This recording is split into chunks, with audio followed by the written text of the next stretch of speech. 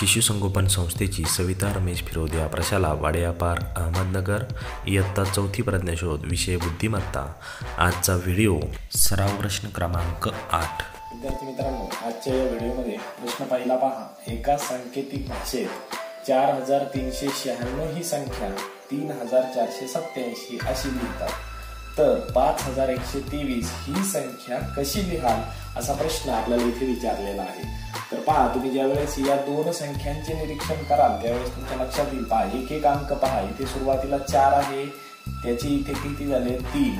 इथे दो- दोन नंबरला कोणता अंक आहे? तीन.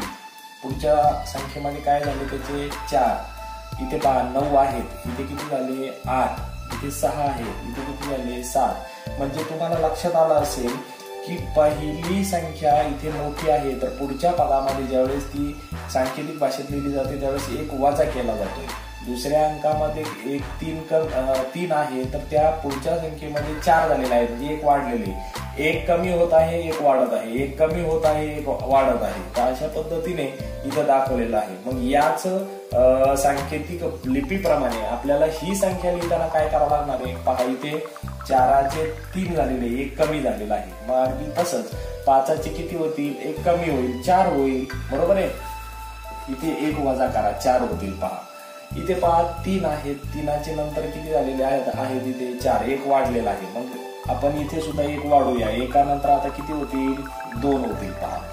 आता इथे नवाचे किती झालेले आहेत? आठ झालेले आहे. एक कमी झालेला आहे. मग तसंच दोनाचे इथे किती होतील? एक होईल. ठीक आहे? एक कमी होतोय एक वाढतोय. आता इथे सहा आहेत त्याचे किती झाले? सात झाले. एक वाढलेला आहे. मग तसेच तिनाची किती होतील चार होतील मग आता पहा चार हजार दोनशे चौदा. इथे पर्यायामध्ये दिलेला आहे का? पहा इथे दिलेला आहे. चार हजार दोनशे चौदा. मग हे आपलं उत्तर असणार आहे. पाच हजार एकशे तेवीस ही संख्या चार हजार दोनशे चौदा अशी लिहिली जाईल आता प्रश्न दुसरा पहा. गटातनं बसणारे पद ओळखा. आपल्याला इथे महिन्यांची नावं दिलेली आहे पौष भाद्रपद आषाढ आणि वैशाख. तर मुलांनो तुम्हाला यासाठी महिन्यांचे दिवस माहीत असले पाहिजेत पहा इथे भाद्रपद महिन्यामध्ये एकतीस दिवस असतात. आषाढ महिन्यामध्ये एकतीस दिवस असतात. वैशाख महिन्यामध्ये एकतीस दिवस असतात. तर पौष महिन्यामध्ये मात्र तीस दिवस असतात. आता तुम्हाला समजलं असेल की हे तीन सारख्या गटात बसणारे आहेत. आणि हा वेगळ्या गटात बसणारा आहे. त्यामुळे इथे गटात बसणारे पद कोणते असणारे? पर्याय क्रमांक एक पौष पुढचा प्रश्न पाहूया. प्रश्न क्रमांक तिसरा. पहा प्रश्न थोडासा मोठा आहे पण आपण गोंधळून जायचं नाहीये. रामराव भारतीय सीमा सुरक्षा दलामध्ये नोकरीला आहेत ते एकवीस दिवसांची सुट्टी घेऊन गावी आले. त्यांची एकवीस दिवसांची सुट्टी ही बारा ऑक्टोबरला सुरू झाली. तर सुट्टी संपल्यानंतर रामराव नोकरीस कोणत्या तारखेला हजर होतील असं त्यांनी विचारलेलं आहे. आता पहा मुलांनो त्यांची सुट्टी बारा ऑक्टोबरला सुरू झालेली आहे ठीक आहे? मग बारा ऑक्टोबरपासून एकवीस दिवस आपल्याला मोजायचे आहे तर त्यासाठी अगोदर तुम्हाला ऑक्टोबर महिन्यामध्ये किती दिवस असतात हे माहिती असली पाहिजे. पहा ऑक्टोबर महिन्यामध्ये एकतीस दिवस असतात. मग आता बारा मध्ये आपण एकवीस मिळवूया म्हणजे आपल्याला पुढची तारीख मिळेल. पहा जर आपण बारा मध्ये एकवीस मिळवले तर आपल्याला इथे किती होणार आहे? तेहतीस दिवस होणार आहे. मग आता महिन्यामध्ये तेहतीस ही तारीख असते का? नाही. मग आपल्याला माहिती की ऑक्टोबरमध्ये एकतीस दिवस असतात. मग याच्यामधून एकतीस दिवस वजा करा पहा तर किती राहणार आहे? तर दोन राहणार आहे. मग आता पहा आपल्याला ऑक्टोबर महिना संपल्यानंतर दोन दिवस पुढे जायचं आहे पुढच्या महिन्यामध्ये. ऑक्टोबर नंतर कोणता महिना येतो तो नोव्हेंबर. म्हणजे दोन नोव्हेंबरला रामराव आपल्या नोकरीला हजर होतील असं उत्तर असणार आहे. पापड यामध्ये दोन तारीख आहे का? तीन नोव्हेंबर नाहीये. एक नोव्हेंबर नाही येणार आहे. दोन नोव्हेंबर हे आपलं उत्तर असणार आहे. पर्याय क्रमांक तीन हे उत्तर. पुढचा प्रश्न पहा. प्रश्न क्रमांक चौथा.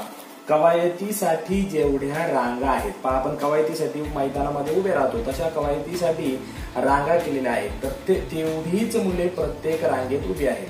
कवायतीसाठी जेवढ्या रांगा रांगा आहेत तेवढीच मुले प्रत्येक रांगेमध्ये उभी आहेत. या दोन्ही संख्या सारख्याच असणार आहेत. जर प्रत्येक रांगेत बावीस मुले असतील आता पहा मुलांनो प्रत्येक रांगेत बावीस मुलं आहे. आपल्याला अगोदरच सांगितलं की कवायतीसाठी जेवढ्या रांगा आहेत तेवढीच मुले प्रत्येक रांगेत उभे मग जर बावीस मुले आहेत तर रांगा सुद्धा किती असणार आहे?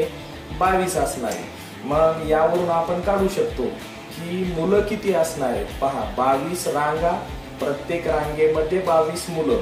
मग आपल्याला इथे बावीसचा वर्ग करावा लागणार आहे. म्हणजे बावीस गुणिले बावीस जर तुम्ही केलं तर तुमचं उत्तर किती येणार आहे? चारशे चौऱ्याऐंशी हे उत्तर येणार आहे. म्हणजे चारशे चौऱ्याऐंशी मुलं आहेत पहा. तर मैदानावरील सर्व मुलांच्या पायांची संख्या किती? आता पहा मुलांनो.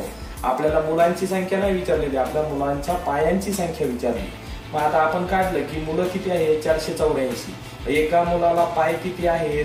दोन. मग आपल्याला काय करावं लागणार आहे? चारशे चौऱ्याऐंशी गुणिले दोन करावं लागणार आहे पहा. म्हणजे उत्तर किती येणार आहे? पहा. बेजोग आठ उत्तर आलं पहा. आणि ब्याठी सोळा इथे सहा आले हाताला आला एक. बेचोक आठ हाताला आला एक किती? नऊ. म्हणजे उत्तर आलेलं आहे नऊशे अडुसष्ट. तर पहा पर्यायामध्ये नऊशे अडुसष्ट इथे दिलेलं आहे. म्हणजे मुलांच्या पायांची संख्या किती असणार आहे? नऊशे अडुसष्ट.